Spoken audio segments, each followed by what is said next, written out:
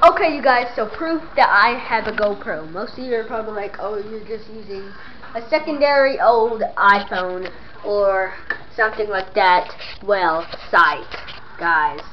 GoPro, there is no phone or anything, like literally, look, look at this. I am holding the GoPro. And, so yeah, the GoPro is amazing. Like, Luke gave it to me, and it's not that good quality, but I mean, it's fine for a GoPro. And I have a camera also.